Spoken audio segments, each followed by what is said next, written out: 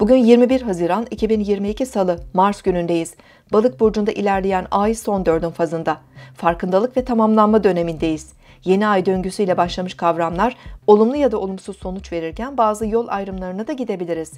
Ay sabah erken saatlerde İkizler Burcu'ndaki Güneş'le yaptığı dik açının ardından 6.37'de Koç burcuna geçecek. Güne başlarken dengesiz ve değişken enerjilerde oluşabilir. Beslenme ve uyku düzenimize dikkat etmeye çalışalım. Sabah saatlerinde Ay Koç burcuna geçince daha cesur ve sabırsız davranma eğiliminde olabiliriz.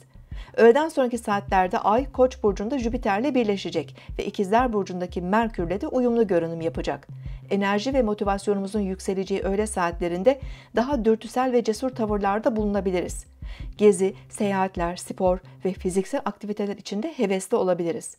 Bugün Boğa burcundaki Venüs ile Oğlak burcundaki Plüto arasındaki üçgen açı kesinleşecek.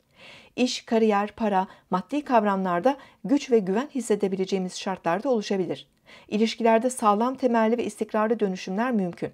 Hak edişlerle birlikte maddi manevi büyük destekler de alabiliriz. Bugün Güneş İkizler Burcu'ndan ayrılarak Yengeç Burcu'na geçiyor.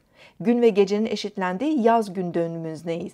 Önümüzdeki bir ay Güneş bizi duygusal olarak etkileyen özel yaşamımız, ailemiz, evimiz, yuvamız, kişisel güvenliğimiz, ebeveynlerimizle ilgili konuları daha fazla aydınlatabilir. Siz de şimdi kanalımıza abone olun, yorumlar bölümüne sorularınızı yazın, sürprizlerimizden haberdar olun.